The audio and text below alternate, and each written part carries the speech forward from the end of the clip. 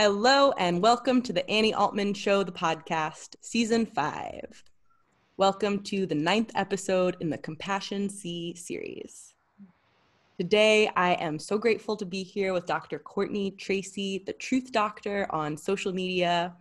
Courtney has a healing center, has worked doing one on one therapy, and has a podcast, Your Unconsciousness is Showing, and so many things. And I'm so grateful to have you here on the show. Thank you for coming on. Yeah, you're welcome. Thank you so much for having me.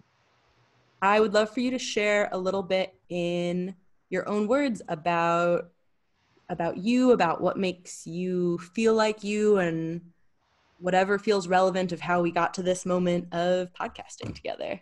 Yeah, sure. Well, thank you so much. no, no pressure at all. So, again, my name is Dr. Courtney Tracy. I am a licensed clinical social worker and a doctor of clinical psychology. I'm known on social media as the Truth Doctor, and we will get into more of what that means on this episode today. Um, I own an adult addiction treatment center currently in Santa Barbara, California, and I have a lot of social media platforms um, and online platforms where I provide free mental health courses because I don't want anyone to have any barriers for psychoeducation on how their mind works and how they can get better from their symptoms. Of course, therapy is ideal because you want to work with a professional, but at the same time, education is power. And so I provide those for free. And then, as you mentioned, I do have a podcast, Your Unconscious is Showing, where I help people dive deep into what the unconscious is and how it's showing and everything that they do. And the point for me to be the truth doctor, you know, my name is Courtney. I, I feel I, I feel like Courtney. Um, but people see me as the truth doctor. And you know, the point of the truth doctor, which I know we'll get into later, but it's really sometimes people show up as characters for others and for me, the truth doctor is essentially a character for myself and for other people. So I always speak my truth and I always encourage people and help people find their own. And so I may be a doctor of psychology, but a lot of people don't call themselves doctors unless they're like a medical doctor. And I chose to include the word doctor in my title because a doctor is essentially someone that heals something. And what I'm trying to do is help uncover and repair the truth that each person has within themselves. And so I have this white coat, like a doctor coat, that I covered in patches. And it's sort of like a pun on, you know, I'm not impersonating a doctor, that's illegal. I do have a doctorate. But at the same time, it's there to say that there can be creativity in healing, and there are things to heal within the human psyche that a lot of people don't talk about, you know? And so I'm fine with using my story to help other people learn how to tell theirs and uncover what's really there. It's so inspiring. And I so love the things that you put out for their, to me, they feel like a, you are being authentic about mental health, about feelings, about the whole spectrum of humaning, while mm-hmm. also keeping it light doesn't feel exactly like the right word. Keeping it in a digestible format for people to give them a nugget of something to help them continue on their own understanding and uncovering themselves. Exactly. Yeah and that's the thing you know when i'm sitting when i'm providing therapy treatment to someone the client may feel like it's me helping them but it's not because if the client was closed off, then I wouldn't be able to help them. And so we are all capable of healing ourselves to some degree. Of course, there's symptomology where you need a professional. Of course, there's medical doctors, if it's a psychiatric issue or whatever, there's stuff going on. But at the same time, it's like if you don't understand what's going on with you enough to do something about it, then you're not going to be able to be helped. And so it's like, here's the information, do with it what you will. And if I'm giving information where I feel like if it resonates with someone, then they should go see someone, then I'll say that. I'll say, if this sounds like you're going through this, then you should talk to someone because this video obviously isn't going to cure those symptoms. totally. And being really real about that of this isn't a replacement for some other therapy. This is an additional therapy tool. And like you brought up too of creativity, I'm glad so early to bring that up, especially when we're creating a podcast here mm-hmm. that this is its own form of therapy that there's so many ways to heal yourself. Yes, there is. You, there really is. When we're not creative, when we don't have an outlet, when we're not connected to who we really are, it shows. It shows in stress, it shows in making wrong decisions, it shows in anger and anxiety. And like there's a reason, you know, some people think music therapy or art therapy or dance therapy or movement therapy or whatever. Some people think that it's bullshit. And it's like not. It's like, it's just not. Like we are all the way back like i don't know thousands of years ago we were dancing and we were drawing on walls and caves and we were finding ways to express ourselves because it, one it helps us pass the time like and be engaged in life than just eating and sleeping and eating and sleeping you know? But it also gives us the ability to figure out who we really are and what we like and how we express ourselves. And so podcasting means a lot to me. Meeting other people means a lot to me. Using my voice to talk to whoever's listening to this or watching this means a lot to me. And any creative everyone's a creative but a creative is someone who has embraced that part of themselves. And so and i admire that in each person. Mm, very well said. And i admire you embracing that in you and then putting that out there to encourage people like you were saying to to do that too. And I'm glad too you brought up that that paradox that I know I come into all the time of loving and hating and also being like what the fuck is what is this that I'm the only one who can heal myself and also I need other people and how are those both true that that's true for everyone and and how do we reconcile that and I, I have no answers besides making things to process being okay with it.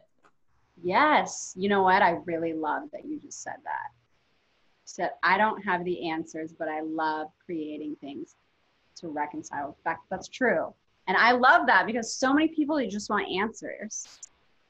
I get like, that. yeah. And yeah, dude, me too. Like, oh my God. It's just human nature because literally our brains fill gaps. It's like neurobiologically, neuropsychologically, we want things to be whole. Like if we see a circle and it's broken open, we want it closed and sometimes like there's studies where even like our visual processing and our memory like i always say this like the there's this study where they showed like just this image to people and half of the people the bike had two wheels and the other half it had one and it's like a lot of the people would that had the bike with one wheel said that the bike had two because one we use our past experiences and two we just assume and we want it to have two because that's how we remember a bike and so, and that's the case if you think about any answer to anything of like, why? Why is that the case? We want to know if it's one or the other. And I love that you said that you just create things to accept that that's not the case versus trying to continue to find ways to figure out if it's black or white or all or nothing or right or wrong or whatever it is. That was beautiful.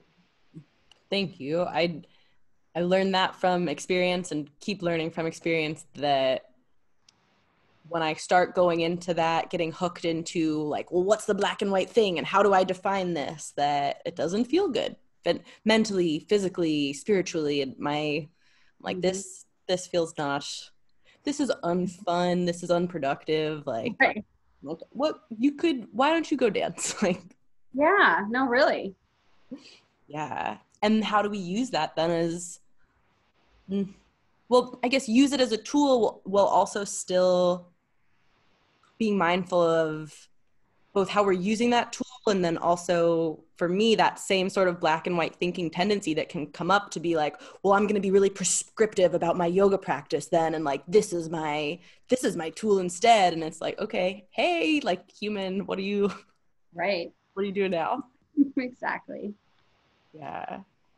Yeah and truth really continuing to come up as that theme of like if there's anything that I am looking for or being guided by or towards is what is my truth and how do I how do I accept that for me, including the parts of truth that are saying, well, I don't really know what the truth is. What does that mean? Right. It's complicated. I mean, the truth is really hidden, I feel like. Like from the moment that we're born, we're absorbing other people's thoughts and other people's experiences. and then our own thoughts that are affected by their thoughts and their experiences and then our thoughts affected by our experiences that are affected by other people's thoughts. And it's like who are we? Like do we really know? You know do we really know after the years of society and our family and our own internal belief systems altering how we view ourselves in the world? The truth is very very far down and but we don't think that we walk around like, I know what the fuck is going on in the world. I know who I am. And we're all very disconnected to each other and to ourselves. And so that's one of the reasons why I have this platform is because I knew that I was fucking suffering in my own stuff for a really long time and self sabotaging and blaming everyone else. And it was a lot of other people's faults as well. But it also was my inability to accept that even if they played a major role in my life, I'm now the one playing the role. I'm now the one that's letting that be the case. And of course, there's situations of system systematic racism and oppression, and those are things where you know maybe those aren't forgivable, and maybe you can only go, you know this this manifestation thing. I fully believe in it and a lot about it, and you can only manifest so much if you are oppressed. So I'm just going to throw that out there. But at the same time, I think we can uncover our truth. And then it's what do we do about it? And are other people ready to hear it? Oof. Ooh, like are we ready to share it? And and also who is it going to be received by and how? And how does that guide us then to our people, quote unquote? Yeah. Will you share a little bit about your journey from like how you started the, your podcast and TikTok and Instagram and taking the things from your own experience of your own personal healing, ongoing process, and your one-on-one experience to say to stand in your truth now of creating videos and making content and running the center to to help people on a in a different way and on a different scale. And yeah. not that one scale is better or worse right? We need everyone we need people in all the places for you to stand in your truth of this is where i belong in this tapestry of humans. Yeah completely. So i mean when i was younger i wanted to be somebody else. I feel like a lot of people feel that way. And i wanted like i wasn't really taken care of. And what that taught me was how not to take care of myself and how not to accept myself. And so I spent a lot of my life trying to be someone else. And then and then I eventually got to a place where I thought that I was doing better. And then I realized that I was just now a version that other people wanted me to be of who I really was. And I was like, "Oh, so this is why I'm masking myself with drugs and alcohol and isolating and thinking, you know, even when I was getting my master's degree, they were like, So are you going to go into individual therapy? And I was like, No, I don't have empathy. I was like, I think I'm a psychopath. And they were like, What? They were like, What are you talking about? Why are you going to go into the field of mental health and psychology if you don't think that you have empathy? And one thing that I think would be great for someone to take away from this is that I realized that one of my truths was that it wasn't that I didn't have empathy for other people, it was that I didn't have compassion for myself. And I was so disconnected from my own feelings that it unintentionally disconnected me from other people's. So it wasn't that I was a psychopath, it's that I was fucking traumatized. And that's a huge realization that I had to come to terms with. And when I realized that that was my truth, then it allowed me, gave me the ability to open up my door, open up all the doors to all the stuff I was running from in my life and to find out my real truth. And so I was working at this center in Malibu for three and a half years, very materialistic. And I didn't want to work there anymore. So, from I guess that's just a great way to summarize it. It's just very materialistic, very externally motivated. And so I opened up my own center in Santa Barbara. It's called Good Heart Recovery because I think everybody has a good heart and it's just masked by the lack of truth that they get to experience in their own lives. So then they run from the truth that they've been told that they know isn't actually true. And so then I started doing individual therapy as well. And, you know, I was only like, I was only able to do that. You know, of course, I did it through my master's. I did it in the beginning of my licensure. I did it at this other treatment center. And then I started doing private practice for like eight months. And I just, I didn't like being confined into a room with someone sitting across from me and being like, okay, what intervention am I going to use? How am I going to document this in the chart so that it seems evidence based so that it makes sense? And like, like, I just didn't like how calculated it had to be, even though I was a scholar for 19 years of my life. Like, obviously, I'm including like grade school, so I'm like maybe not a scholar my whole life, but in school, for a lot of my life. So of course I like structure and I like responsibility. And so when I, but when I got to actually sitting with another human being and trying to help them address their suffering from the lack of truth that they have in their life, I was like, this is not the way for me. This isn't the way for me. And it felt isolating for me. I had isolated my whole life. And I was like, now I'm just sitting in the room across from one other person. And it's, I feel myself isolating again, like internally. I'm like, okay, so this isn't going to work. And so then I was like, now what am I supposed to do? You know, because I didn't want to work one on one in my center because it'd be weird to be providing therapy to someone and then also have them want to talk about their insurance bill. That's like, it's just different. I mean, obviously that happens in private practice, but it's a little different when you're in a whole program and your family's involved and you have a DUI court case and it's just your whole life is wrapped up into this really serious program that you're in. So it'd be hard to be administrative and clinical. So I was like, what do I do? And then I saw these social media accounts and I was like, people are really getting their message out this way. So I talked to my cousin who did social media and I was like, I think I want to do this.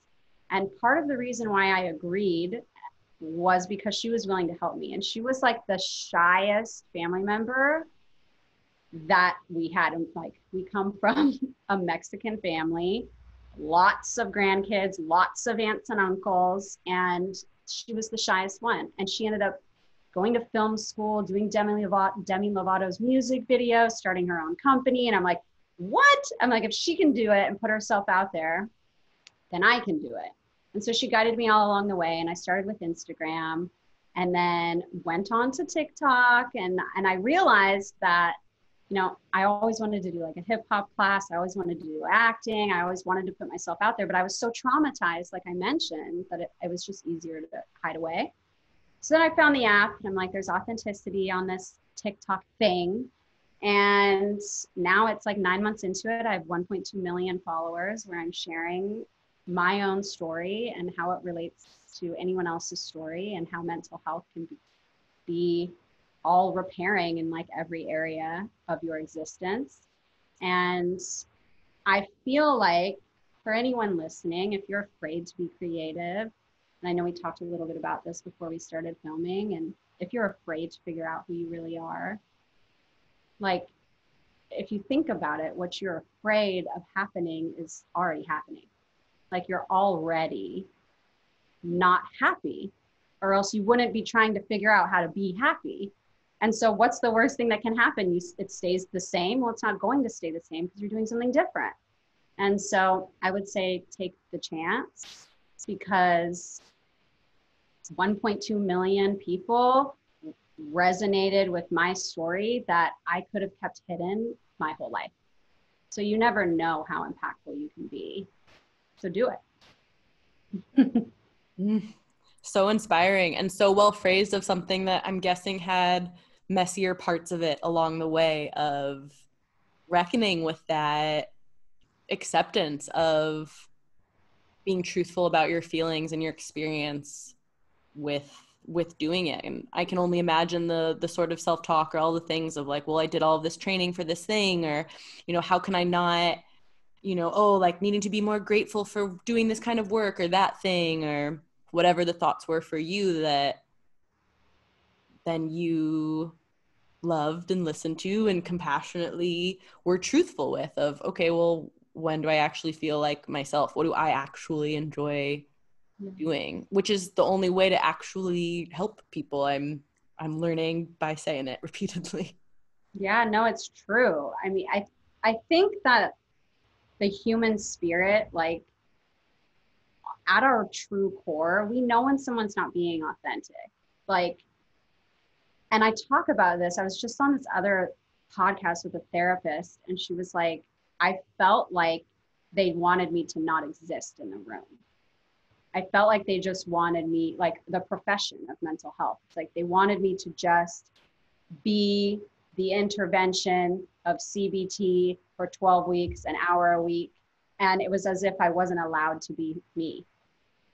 And then she said, Well, I then I didn't see like progress. And she said, then when I threw that standardized workbook and manual out the fucking window and just started embracing the core concepts of the intervention and came authentically and vibed somatically and emotionally with the person in front of me, my clients got significantly better. And I completely agree with that.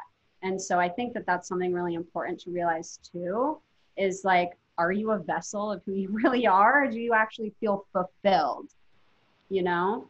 and giving yourself permission to realize that that's how you're going to help the most people is when you don't make them feel like you don't exist because we are mirroring beings so if you're acting like you don't exist you're kind of telling them that about themselves too which is not helpful no and that's such a good description of that sort of cold clinical side that can happen in the medical field and then how psychology as a field is navigating sort of how do we weave in art with clinical with all of these things that I I humans have super sensitive bullshit detectors. We know when someone is bullshitting. We know when we're bullshitting ourselves, although we can believe that it's more comfortable to stay there right. in the short term and absolutely the the experiences I've had in in my own healing journey have the most transformative ones have been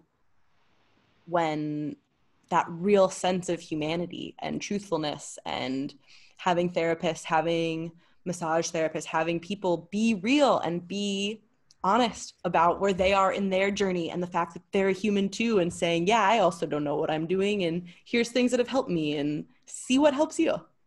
Exactly yeah, I think that as helpers and healers, we want to give two messages. I think a lot of the times people think that we should only give one, which is it's it's possible to get better and this is what it looks like. That's one message and some people stop at that. And the other one is and I'm also not fucking completely better and this is what it looks like to be okay with that and to show that. And then we need both. We need to be met where we're at and be shown where we can go not only be shown where we can go so that we feel alone on the journey there. Oof. That is a powerful message and reminder and the yes and that it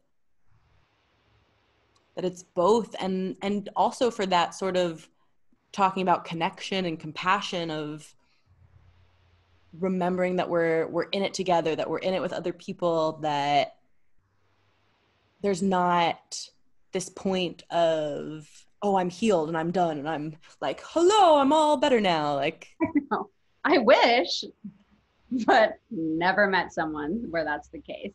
No. Well and then for your point too of of reflecting each other if i met someone well one if i met someone who was saying that my bullshit detector would would be like really? Like okay. Mm-hmm. and also then where is the it's that's isolating more than it's connecting because it's someone it's someone putting themselves above and not in a way of like here's a hand to help in a way of like well i've figured it out. Like look at look at my healing rather than this is a process. This is a practice. This is this is ongoing. Yeah forever. Because the world isn't stagnant. The world is always changing. So you're always going to be changing. You know, I, I was talking to the holistic psychologist two weeks ago, and she said that what she tried to do was create a like a daily schedule for her life. And she realized that you can't fucking do that, you know? And I feel like that's super important to share because when she said that to me, I was like, like I felt called out. I was like, oh shit, I'm I've totally been trying to do that recently. Because I suffer from really severe anxiety, very severe anxiety. It's very physical and physiological and it can be really debilitating and then it turns into cognitive spiritual anxiety and i'm like why am i here? What am i doing? I don't want to get out of bed. And then i feel like shit and don't eat and don't sleep. It's just this terrible cycle and so i like got this new medication and like online yoga and like all this stuff and i'm like okay this is what my day is going to look like then the first day that i tried to do that i realized that i have a two year old toddler and that is not going to fit with having a daily routine. And so everyone in their own way has a two year old toddler. There is something going on in your life that is always going to be ever changing. And even if that's just your own mind, that's that two year old toddler in your life, you have to realize that you need flexibility and you need compassion for yourself in the moment of like the fact that it's a process and the fact that some days are going to feel like shit and some days are going to feel wonderfully beautiful and to not judge either one of them as your life to judge both of them as your life to be accepting of all of it and averting to none of it and just rest in the fact that you exist because you know life is a gift. Everyone has said that like growing up and i'm like life's a gift. That's why they call it the present. And i'm like that is so dumb. But if you actually think about it it is a gift. And it's just when you take like the bow tie off of it that makes it seem like some stupid quote that you actually can drop into the fact that it's everything and nothing. And that's okay. mm. How to really accept that. And I so resonate with that too of like, fuck that quote, like what? And then also being like, oh, wait, hold on, there's yeah there's there's some truth in this wow that thing of depression being in the past and anxiety being in the future and how to be present and that fun game of being not present and then being like hey annie where's where's your head and body and how are they coming together? And how much anxiety too i, I really resonate with that too that anxiety coming up to say we need a structure we need a plan what is the whatever? How are we going to control this uncontrollable life thing that we didn't we didn't choose to receive this gift? And we don't choose when the gift is over and oh my gosh let me just spiral into all of these things. And like okay like i see you anxiety i i hear you. Thank right. you for the things that you're doing. Mm-hmm. And you're not you're not driving the car. You're not the only one here. Yes exactly. Yeah and i'm glad you brought up change too for the the speaking of structure and me giving my anxiety some sort of some scaffolding of the 10 C's of the humanity and change being the one right before compassion. And how to have compassion for change being the only constant and this thing that mm-hmm. that keeps happening where yeah you your your 2 year old has a different need on a different day or you have a different need on a different day and and as much as we can be like oh well i get up and i have my tea and i do my yoga and i meditate and i was like really? Is that really what you do every day human? Like tell me more. Right. Yeah. How's that how's that going for you? And also social media and how that can sort of cloud that which again is why i really admire your platform and how you put stuff out of shifting that narrative from self-care and and therapy and truth not being this like, well, here's me doing my perfect daily routine and like here's my YouTube daily routine video of what I do and I'm like those videos trigger me so much because I'm like, how long has this been your routine for? And is this really what you do? And like what happens when you have a human moment? Like how do you how do you navigate that? Seriously, it's so important. I wish that everybody had to answer those questions. I wish like in, I wish social media would like I wish Instagram would be like you know they're trying to post another like manicured photo and it's like gives an error. It's like error. You've posted too many filtered manu like manufactured photos this week. Try posting a normal one. It was like find a balance. Like that'd be pretty nice if they did that, that i mean it'd be controlling as fuck but it might be really helpful for people Yeah, like people get to post what they want, and that's part of the beauty of it is that you get to tell your story of your truth, and and then also to that same point of people have a sensitive bullshit detector, and so yeah. at a certain point, people are gonna say, oh, "Wait, hold on," and and then resonate with things that feel truthful to them, like the stuff that you put out, and they're like, "Well, this person's actually sharing what they think and feel and believe here," and oh my gosh, this exists, this is out there Yeah. Yeah. Okay. I would love to shift to some definitions of words Sure. in terms of knowing and accepting the truth and it changing of what truth means and what compassion means and how those intersect and overlap with love and acceptance and where the boundaries where is the overlap I love this question. And you love it and I want to say that no one's ever asked me this question before, really asked me to define any of these words.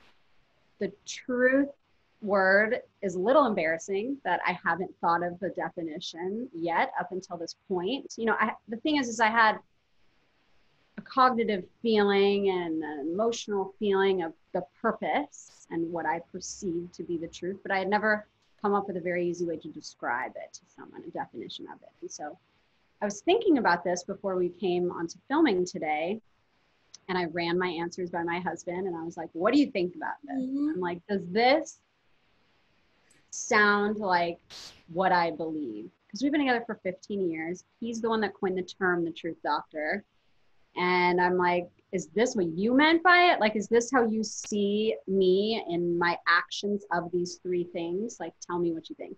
And he was like, "I love it," and so now I'm going to share it with you. So, my definition of truth, which it's not like these things aren't really deep unless you, you know, when we put them all together and we think about the concept of them. And so, for me, the definition of truth is unadulterated reality.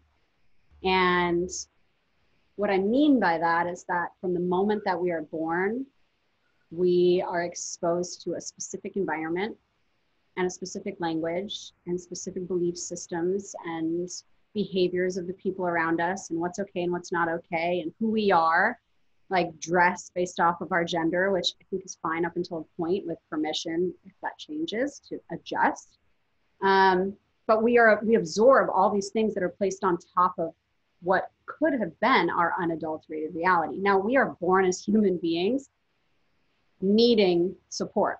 We're not born like a deer we just fucking get up and start running you know? Like we can't do that. Like and like and and so we're connected beings and we're absorbent beings because we want to survive and we want to thrive and we want to connect and we want to learn. And in order to do that we absorb everything around us. So i think that at our core when someone's doing the work to find their truth they're trying to find their unadulterated reality and how is that related to compassion you know there's definitions of compassion like having empathy or sympathy for someone else.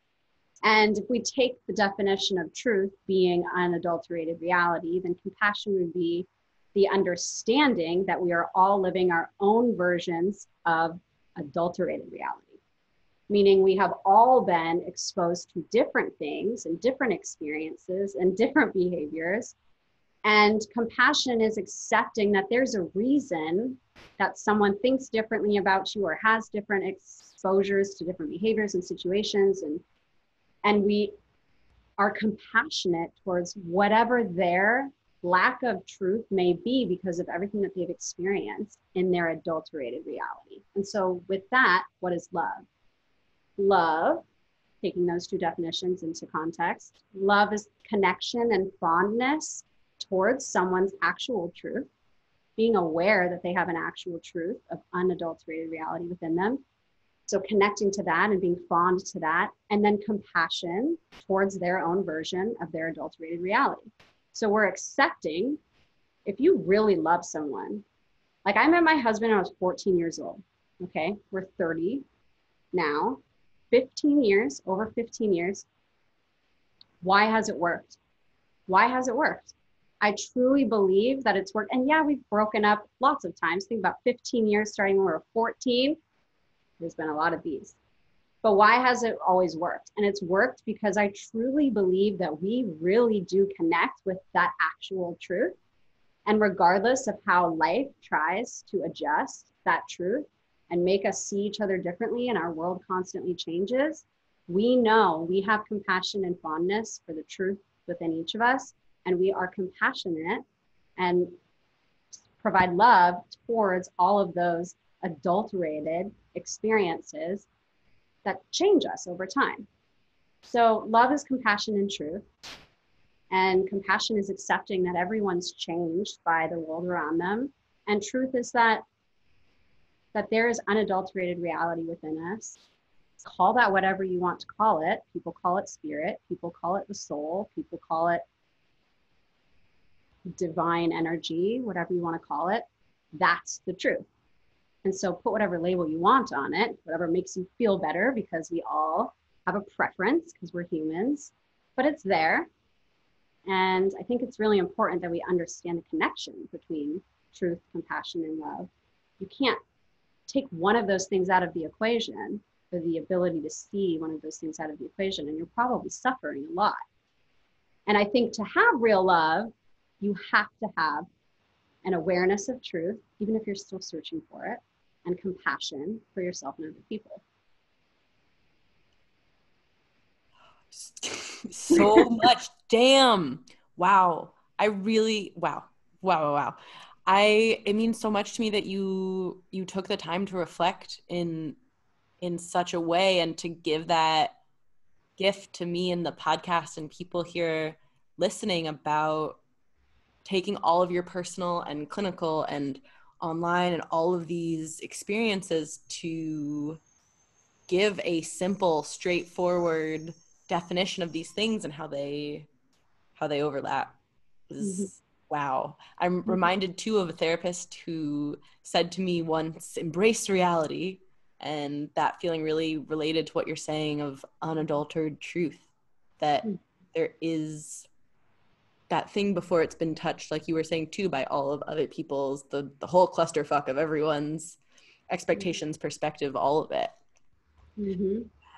What are your thoughts and feelings on sort of like cliche phrases with truth of the truth, the truth hurts and the truth will set you free? Do those do those resonate with you or how do you feel about those?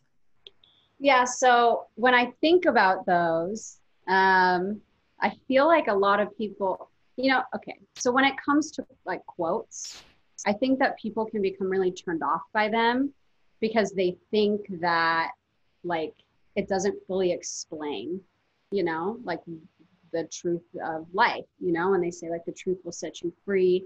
And, you know, someone who's experienced pain from truth may feel like that did not set me free. That made me feel like shit, you know? And so I think, you know, then they're like, maybe they'll only adhere to believing in the quote that truth hurts, and maybe vice versa. And I think that they're both true. I mean, I think they both make sense. And the reason that the truth will set you free is because it will hurt. I think that that's why, because we are holding pain and suffering and fear.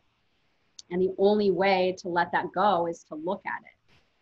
Like that's the only way to let it go. And so I think they're both true. I, I resonate you know here's the thing is like i have compassion literally for everything in the world like i understand everyone's perspective like i like and this might be this may be a little sentence that i would not want to be taken out of context but out of context people. Yeah don't. Um like someone who is racist for example totally unacceptable and there's a reason. There's a reason why they think that and they feel that way and and and yes you know the human psyche when we're given new information if we don't want to believe it we won't and so to a degree it becomes a choice to have those perspectives so i understand it's it's a personal decision and it's a it's a moral obligation to if you're born with these beliefs and these systems above you that you work to dismantle that within yourself and we have to understand that there's a reason that someone feels that way. They weren't born feeling like that. Their environment made them like that. And who made the environment like that?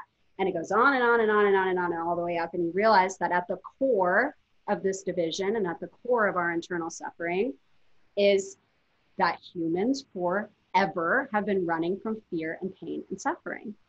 That's why. That's why we've divided. That's why we have power issues. That's why we cheat on each other and lie to each other and lie to ourselves and steal from people. And that's why all of these things happen is because we're running from internal or external fear, internal or external suffering. And so the truth is uncovering all of that and being like, oh, this is terrible. This hurts a lot. I can't believe people feel this way or think this thing. And we have to look at it in order to be, you know, set free, which is basically just living our lives as our true selves. And as your true self, no matter what anyone that's racist may think, you would not hate other people for no reason. You just wouldn't do it if you were really connected to yourself because you would accept yourself for every part of you and that you could be any of these other people in the world. You didn't choose this life, so stop acting like it was chosen for you and just like accept that everyone is equal and related and worthy. Um, but it matters. Our perspective matters, and we have to shift it, even if it's into pain, in order to get better. Beautifully said again. I don't see where I, I get where it's like, oh, I can't talk about racism or say something. How could I say something compassionate to a racist about a racist?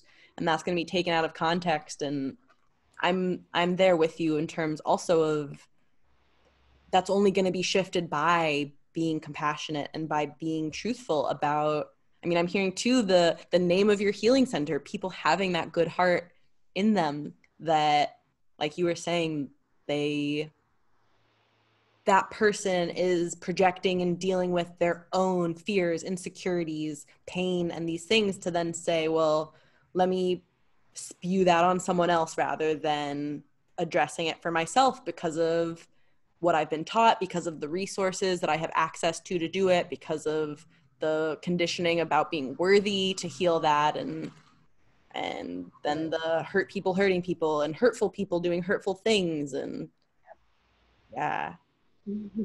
I'm curious too. I like and I, the thing that you said about, and I can see that in the work that you do of being able to see all of the perspectives. And so, for my own selfish healing, I would be curious because I get into that too. And then my black and white thinking can go sort of to these this other end of the bell curve extreme, where then I've used that as another way to adulter and push down my own truth because I'm like, well, I can see how that person thinks that thing. So essentially invalidating my own experience and preferences. So I'd be curious, how do you how do you navigate holding both of those truths of that person's experience is valid and so is mine? That's a good question.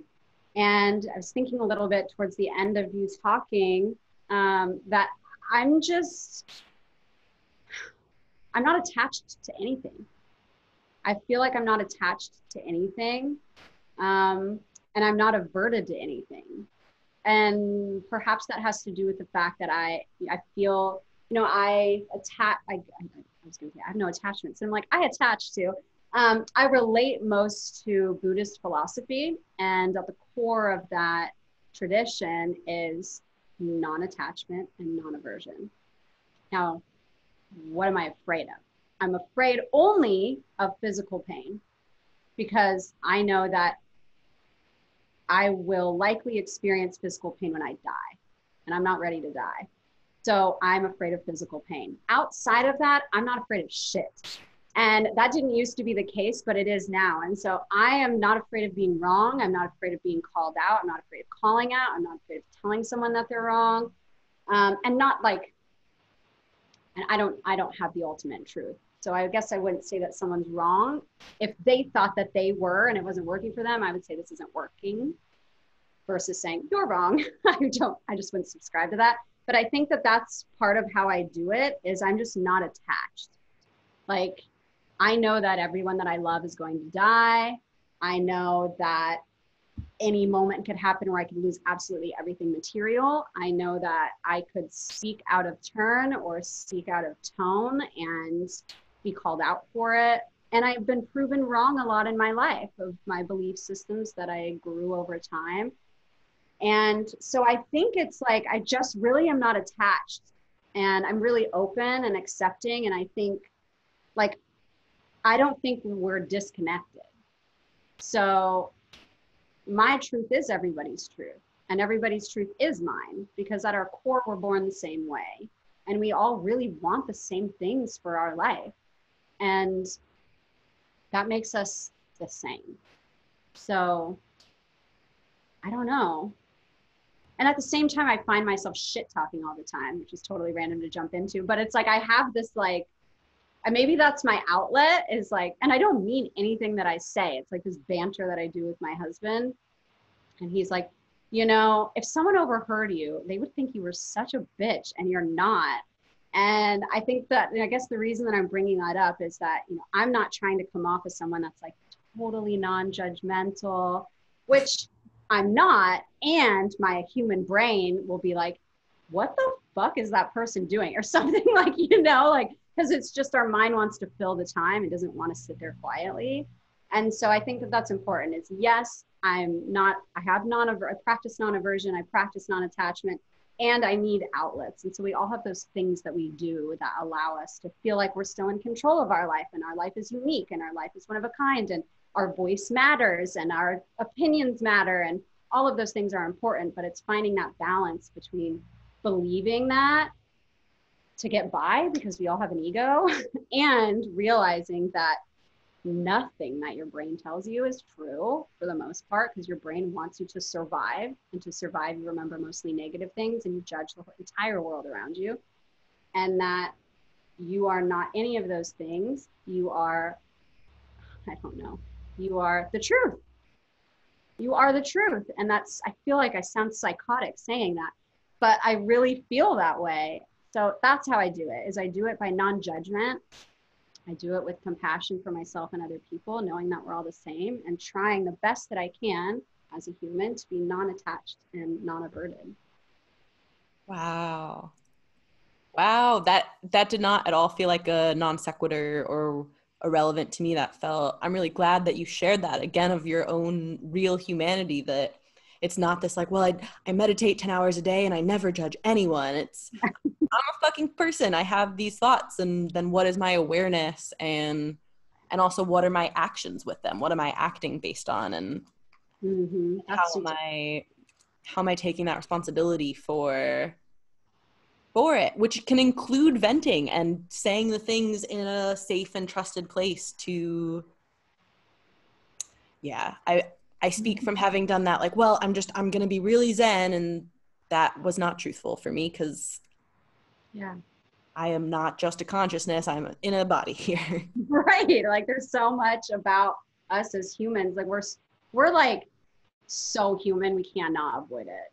You know, like we really cannot avoid it. Like sometimes I think about like when I have all this shit going on in my head, I'm like, I wonder what thoughts monks have sitting on top of the mountains. Like there's they don't just have a clear mind. Like I, I mean, I've had monks come to my center in Santa Barbara, and of course, they were acting monkish because they were playing that role. But they're still human. Like, I'm pretty sure that, like, you know, if another monk is walking by and like they had toilet paper on their shoe, they might laugh and be like, oh, like there's toilet paper on their shoe, you know, but they're not going to be like, fuck, that person's less than me because, like, that's the practice. It's the practice of watching what the hell is going on in your mind, figuring out where it came from, why it's there, if you identify with it or not, if you want to continue to, and then ways that you cannot do that. And it's finding your truth, being compassionate, and realizing that your unconscious and your consciousness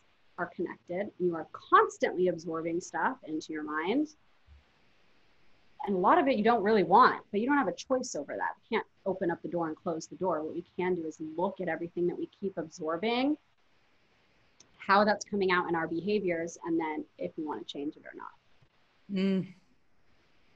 Yes, which I appreciate being so grounded and so aware of spiritual bypassing and all those things that I find can happen with this sort of like, oh, I'm going to deny my humanity. I'm going to pretend like I'm not a human. I'm going to, and things too with like Brene Brown of putting shame in shadows, where it's like, no, I'm, the ego is bad and fuck the ego of like, well, hold on, what? You're, why are you denying this part of you that, like you're saying, keeps you safe, that is part of navigating this human suit through this life thing?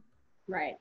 That then for, to go back to your definition of truth, to deny the ego from when I've done that is adultering reality. Mm-hmm. It is. That's so true. What are we doing then?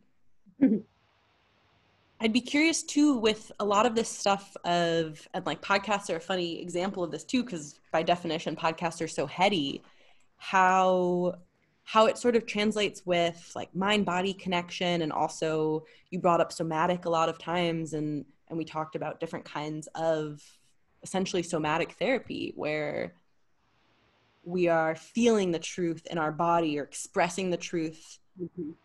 in without words and how those again how there's space for both of those to have like your beautiful definition in succinct words of these different words and then also your the truth of your podcast and your TikTok and the things that you put out that is also you showing your truth in another way.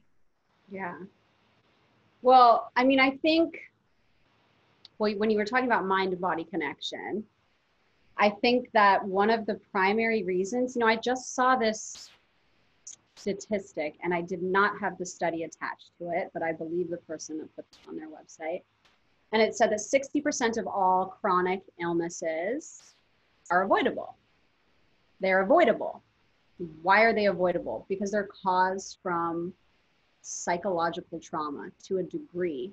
Our immune system shuts down. We have chronic stress. We don't eat healthy. We don't sleep well. We don't have enough love and connection in our lives and enough understanding and connection to spirituality where our systems, our unconscious systems, the systems that are literally functioning, if we were knocked unconscious, our body is still functioning. And like, it's like, why do we think that we're just our mind when we're sleeping and our mind is off? our body is still awake and still alive. And we are so connected to it, but we seem to only identify with the mind, the awake mind, when we are awake. But there's so much more to us than that. And so I think that it's really important. Like when I'm working, like for me, you know, and earlier I said I have really severe anxiety. It shows up really physically and really physiologically. It's like if I didn't know that, I would think that I could just sit in a therapy room for an hour and talk about how I'm feeling and feel better, but I can't because if you think about it, let's say when you're in a car accident, everyone reacts differently. Some people are going to start shaking. Some people are going to freeze. Some people are going to want to get the fuck out of the car after it happens our body reacts in different ways, just like our mind absorbs things in different ways, also. We're all living our own version of reality internally and externally, and that happens in our body too. So it's so important that people realize that our body, mind, and if you subscribe to this belief, your spirit as well are all connected, they all matter. And you know, on TikTok, it's like dancing and, you know, like using your voice and doing um, God, what is it called? Voiceovers. And like those are all ways to express your truth and to put yourself out there. And it really helps. You know, maybe this is like an ad for TikTok right now or something, but it just helps to be creative and to use not only your mind, but also your body to, to when people say I'm putting myself out there, I want people to see it in a different way. It's not you just arriving to put yourself out there, it's you putting yourself like your actual self out there. So if you are in any way engaging in the act of creativity, please make sure that it is your true self and that when you say you're putting yourself out there that you actually mean it and that you're not just still wearing the mask or the suit that other people expect you to. So it's all connected. We're all the same. We all have a fucking truth we need to find or we're going to be to a degree miserable still even if you don't think you are there may be a level of happiness that you can't even imagine right now because you're not being your true self. So pick it apart, get ready to hurt because it will set you free eventually. Ooh, yes. Ugh, that was very beautifully put again. Thanks. Okay, I'd like to close with a last definition of an overlap of truth and trust and how trust comes to trust what our own truth is and trust that it's it's safe to share that it's safe to go through that excavation process of uncovering and putting that out there. And I'm, I'm i'm guessing you know as you've gone along and things you shared your trust in yourself has shifted and your trust in your message and and your own truth. Yeah. Well if truth is you know unadulterated reality then I think trust is the vulnerability that goes along with the unmasking. You know, it's when we trust someone, we're trusting that their unadulterated reality and our unadulterated reality are not going to be judged, are going to be respected. And so it's the vulnerability. Like when we are being vulnerable, think about it. When we're being vulnerable, we're talking about something sensitive or something secret, or we're putting ourselves in an opportunity that may make us feel unsafe or scared. And what is feeling all of those things? What's really in there? And so I think that that, that would be how I would describe it. It's like truth is like that thing, but trust is the action of exposing that thing in some way. I love that. And again, for ending on the mind body connection of them both being relevant and how they come how they come together. Mm-hmm. Wow. I'm so excited already to listen back to this podcast. I will link all of your stuff here so that people can find you if they do not already follow you on different places and they can find your center and all of your social medias mm-hmm. and you are welcome back anytime you want to come on the podcast this was this was so amazing i really appreciate your time and your sharing you're welcome. This was really great. I am excited and i hope i can take clips from this also and put it on my platforms. That would be so great. Thank you. That would mean so much to me. Thank you so much again for coming and sharing. Yeah, you're welcome. Thank you for tuning in and thanks for being you.